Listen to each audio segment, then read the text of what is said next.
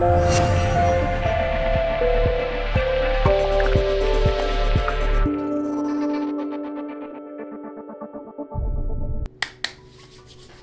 chào anh em đã đến với TNC Channel. Trong video hôm nay thì nói thật là mình cũng sẽ muốn ngồi tâm sự với anh em một chút Về một số thứ mà mọi người đã biết thừa lúc mà đọc tiêu đề với màn hình này rồi. À không, của cái video này rồi. Đó là màn hình của một hệ thống gaming. Vâng, mình xin nhấn mạnh lại một lần nữa là màn hình cho gaming nhé. Tại sao chúng ta phải phân tách rõ ràng cái tiêu đề này Vì cũng giống như là PC thôi cũng là một hệ thống máy tính với RAM, chip, bo mạch chủ, VGA, trở thành nguồn các thứ, thiết bị đầu vào, đầu ra, linh tinh. Nhưng với mỗi mục đích sử dụng khác nhau thì chúng ta lại có những linh kiện chuyên biệt được tối ưu khác nhau cho những mục đích ấy. Và rõ ràng thì màn hình cho dân văn phòng chắc chắn là sẽ khác hoàn toàn với màn hình cho dân thiết kế đồ họa và cũng sẽ chẳng giống với màn hình cho game thủ một chút nào. Vậy thì hiện nay có khá nhiều nhà sản xuất và vô vàn công nghệ được tập trung dành cho đối tượng game thủ áp dụng lên những chiếc màn hình máy tính Vậy thì chúng ta hãy điểm qua những thứ mà một game thủ cần tối thiểu trên chiếc màn hình của mình. Đầu tiên thì chắc chắn đó là nó phải hiển thị màu sắc thật tốt, không cần quá chuyên nghiệp và chính xác màu cao chuẩn in ấn như là màn hình dành cho dân đồ họa thiết kế vân vân, nhưng ít nhất thì cũng phải đạt chuẩn bão hòa màu khoảng 65% NTSC hay là 100% sRGB đổ lên. Cái này thì anh em nào hay đánh đế chế chắc chắn là rất cần, nhất là khi mà mình cầm nhà đỏ mà gặp mấy thằng màu cam lởn vởn trên bản đồ. Tiếp theo là tần số quét cái này cũng quan trọng không kém gì màu sắc. Màn hình cần có sự chuyển tiếp liên tục giữa các khung hình khác nhau và việc một cái màn hình có tốc độ làm mới hay còn gọi là tần số quét nhanh, tức là hình ảnh sẽ được thay đổi càng nhanh và sẽ mang lại trải nghiệm càng mượt mà hơn. Tuy nhiên thì có một thực tế hiện nay là khi cấu hình của những dàn PC gaming của chúng ta ngày càng trở nên mạnh mẽ và có dư khả năng tạo ra những cảnh game có FPS khủng khiếp lên tới hàng trăm khung hình trên giây, thì từng đó khung hình nhồi nhét tín hiệu xuất ra màn hình và chiếc màn hình của chúng ta không thể hiển thị kịp dẫn đến một hiện tượng gọi là rách hình. Thật ra thì cũng không ảnh hưởng quá nhiều đến việc hiển thị và trải nghiệm chơi game mượt mà đâu nhưng mà với những game hành động, đua xe di chuyển liên tục thì sẽ khá là khó chịu cho anh em nếu mà chơi lâu Thế nên hiện nay thì những màn hình chơi game chuyên nghiệp sẽ được tích hợp thêm một công nghệ đồng bộ hình ảnh nữa, tùy thuộc vào nhà sản xuất các đồ họa, ví dụ như là Nvidia hay là AMD mà có tên gọi khác nhau, đó là VSync hay là FreeSync nhưng về cơ bản thì khi kích hoạt những công nghệ này lên, các đồ họa và màn hình của chúng ta sẽ tự thỏa thuận với nhau để làm việc sao cho phù hợp với tần số quét của màn hình, để đồng bộ và loại bỏ cái hiện tượng rách khung hình khó chịu kia. Như vậy thì có thể nói màn hình dành cho game thủ là một giải sản phẩm đòi hỏi cao nhất trong tất cả các lĩnh vực khác và nó thật sự là quan trọng cho một hệ thống chơi game ra trò. Nói lan man nãy giờ thì cuối cùng cũng chỉ là làm cái nền để mình giới thiệu với các bạn về ba nhân vật chính của chúng ta ngày hôm nay mà thôi. Ở đây thì mình đã chuẩn bị sẵn 3 sản phẩm đến từ Asus với tên gọi đầy đủ lần lượt là ROG Strix XG258Q, ROG Strix XG27VQ và ROG Strix XG32VQ.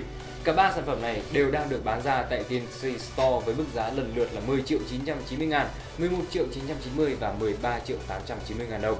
Đây là bộ ba màn hình chất lượng cao, giá phổ thông thuộc dòng ROG Strix, màn hình chơi game chuyên nghiệp được Asus ra mắt hồi triển lãm Computex 2017 vừa qua. Trước khi chúng ta đi sâu hơn về ba sản phẩm này thì mình xin nói sơ qua một chút về dòng Strix. Vâng, cái tên Strix chắc hẳn anh em đã không lạ lẫn gì nếu là fan của Asus được lấy tên theo ờ, một từ tiếng Hy Lạp hay là tiếng La Mã cổ có nghĩa là con cú. Tất cả những sản phẩm này thuộc dòng này đều được trải đều trên nhiều hạng mục từ các đồ họa tới mainboard, màn hình và gaming gear. Tất cả đều được tập trung tối đa cho game thủ để mang lại sự sắc bén và nhanh nhạy như những con cú về cả cảm giác trải nghiệm lẫn hiệu năng. Cũng tương tự như vậy thì dòng sản phẩm màn hình ROG Strix với tên mã XG cũng hướng mũi tập trung hoàn toàn vào game thủ nhằm mang lại trải nghiệm tốt nhất có thể. Nếu các bạn đã xem cái video 60 giây giới thiệu nhanh về màn hình XG258Q của TNC Channel thực hiện thì có lẽ là đã nắm được cơ bản những điểm chung của dòng sản phẩm này rồi. Nhưng mà mình sẽ xin được nhắc lại một chút. Cho nó dài ra. À, ba chiếc màn hình chúng ta thì ngoài sự khác nhau về kích thước hiển thị thì gần như chúng đều chia sẻ những điểm chung về thiết kế Tất cả đều mang trên mình hình hài mạnh mẽ đẳng cấp với chất liệu nhựa cứng cáp, bền với thời gian cùng những họa tiết dạng vi mạch hiện đại phía mặt lưng. Chúng đều được trang bị vòng LED RGB với công nghệ Aura Sync của Asus cho phép bạn có thể tùy chỉnh được màu sắc và đồng bộ với tất cả những linh kiện có hỗ trợ Aura Sync từ Asus. Tiếp theo là chúng đều có cái chân đế cực kỳ cứng cáp với khả năng xoay lật đa dụng rồi thì là cái chân đế này đó là bằng kim loại nguyên khối bên cạnh đó thì dưới cùng chúng ta cũng sẽ có một cái đèn hiệu signature tức là nó rất là đặc trưng của Asus luôn. Ngoài ra nếu các bạn không thích cái biểu tượng ROG Republic of Gamer này thì các bạn hoàn toàn có thể sử dụng một cái miếng màu trắng để chúng ta có thể tùy chỉnh. Ví dụ các bạn ký tên lên đó chẳng hạn thì nó sẽ hiện tên của các bạn lên đây. Rất là tuyệt vời. Một cái uh, sáng kiến rất là hay của Asus và cái công nghệ này theo mình được biết thì Asus họ đang chờ để được cấp bằng sáng chế đấy thế rồi cấp bằng sáng chế nha Bên cạnh đó thì cả ba sản phẩm này của chúng ta đều được trang bị những công nghệ tuyệt vời nhất dành cho game thủ. Ví dụ như là Extreme Low Motion Blur, Tức là cái công nghệ làm giảm thiểu cái sự nhòe hình ở những cảnh chuyển động nhanh. Tiếp theo đó là FreeSync Đây là công nghệ đồng bộ màn hình mà như vừa nãy mình đã nói ấy, tương thích với cả những chiếc card đồ họa đến từ AMD. Với công nghệ này thì những chiếc màn hình chúng ta sẽ có thể đồng bộ hoàn hảo số khung hình với các đồ họa để giúp cho chúng ta có thể trải nghiệm game tốt nhất có thể mà không bị rách hình như mình đã nói. Tiếp theo nữa thì đó là cái tần số quét cực kỳ cao. Cả ba sản phẩm này thì sẽ có những cái ờ, thông số, tần số quét khác nhau cho nên là chúng ta sẽ đến với từng sản phẩm ở phần tiếp theo. Về những tính năng cụ thể để tạo ra sự khác biệt ở ba cái sản phẩm này thì sao? Đầu tiên là chúng ta hãy đến với XG258Q. Cái này thì video 60 giây mình đã nói khá là kỹ rồi nhưng mà mình sẽ nhắc lại một chút. Đây là màn hình rẻ nhất và có kích thước nhỏ nhất trong bộ ba của chúng ta. Tuy nhiên thì không vì thế mà nó không đáng mua so với hai người anh em còn lại. Ngoài sự giống nhau như đúc về các cổng kết nối, rồi thì đèn nền, rồi thì chân đế, rồi thì đèn Aura Sync đằng sau, nhưng mà nó vẫn được trang bị đầy đủ công nghệ Extreme Low Motion Blur chống nhảy chuyển động này thì chống rách hình FreeSync của AMD vân vân hay là bề mặt của em nó không được lõm vào à, duyên dáng như hai thằng kia, nhưng mà nó vẫn có một cái điểm cực kỳ nổi bật hơn hẳn so với hai người anh em còn lại. Đó là tần số quét 240 Hz thay vì 144 Hz như hai thằng kia. Ngoài ra thì độ sáng tối đa của nó có thể lên tới 400 nit một cái à, độ sáng có thể nói là cực kỳ chói lòa nếu như các anh em à, chơi ở trong phòng tối và tắt hết đèn xung quanh đi mà để mắc sáng thì đảm bảo là sẽ đi ngủ sớm đấy. Tiếp theo chúng ta sẽ có XG27VQ đây là người anh lớn hơn một chút so với uh, XG258Q uh, nó có kích thước màn hình là 27 inch. Và như các bạn thể thấy đó là một cái đường cong rất là quyến rũ ở đây. Đó. Về XG27VQ thì ngoài cái thiết kế nhìn chung khá là giống với cả XG258Q chúng ta cũng có chân đế bằng kim loại nguyên khối rất là chắc chắn này. Rồi thì cái trục này cực kỳ to và đô luôn đảm bảo là chúng ta có thể để màn hình rất chắc chắn trên mọi bàn của các bạn. À, bàn các bạn bằng giấy hay bằng gì thì cái màn hình này đảm bảo nó không thể gãy được cái chân này đâu. Tiếp theo đó là cái, những cái tính năng nó cũng có thể nghiêng 25 độ giống như là 258Q nó cũng có thể lên xuống với biên độ là 12 cm đó, nhưng mà rất đáng tiếc là chiếc màn hình này không thể xoay dọc 90 độ như à, 258Q bởi vì là màn hình cong như này thì quay dọc dùng sẽ rất là khó chịu nên là nó không có cái tính năng đó. Ngoài ra thì có một sự khác biệt nữa ở XG27VQ so với 258Q đó là cái cổng kết nối của nó. XG27VQ thì chúng ta sẽ có những cổng kết nối như sau đầy đủ hơn XG258Q một chút đó là một cổng DisplayPort, một cổng à, HDMI và một cổng DVI Tần số quét của XG27VQ thì là 144Hz như mình đã nói khi nãy và độ sáng tối đa của nó là 300 nit. Ngoài ra thì chúng ta sẽ có độ phân giải là Full HD 1920 x 1080 với tỷ lệ 16:9 quen thuộc. Vâng, một chiếc màn hình 27 inch tỷ lệ 16:9. Và tiếp theo chúng ta sẽ có người anh cả trong series 3 chiếc màn hình này, đó chính là gì đây? À, ROG Strix XG32VQ.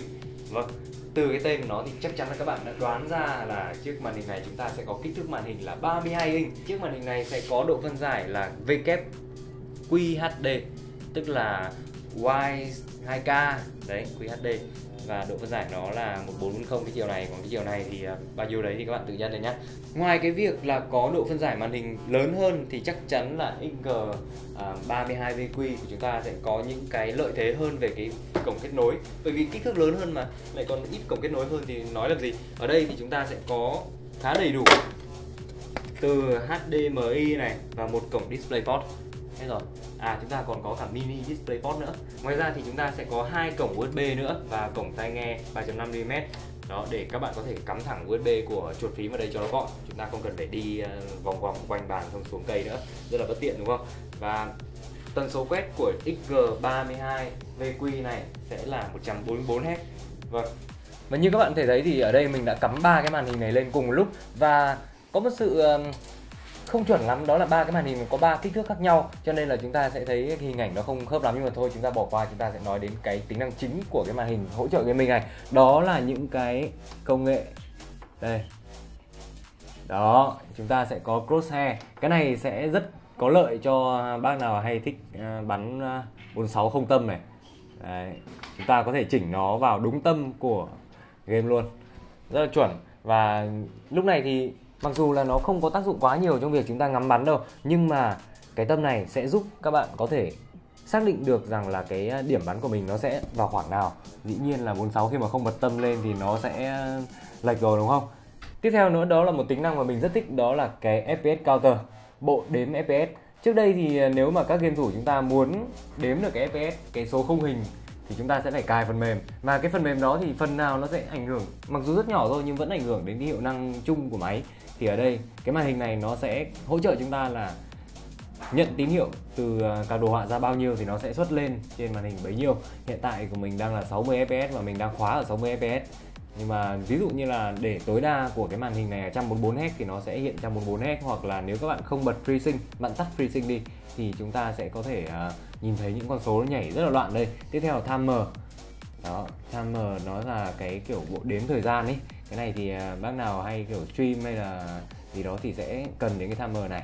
Thì chúng ta không cần phải nhìn đồng hồ nữa. Tiếp theo đó là cái display alignment. Đây, cái này để căn chỉnh trong trường hợp mà các bạn sử dụng nhiều màn hình ghép lại với nhau thì chúng ta sẽ cần phải căn chỉnh cho nó độ cao làm sao cho các màn hình nó khớp với nhau ấy. Thì nó sẽ hiện ra cái thước ở xung quanh màn hình như thế này.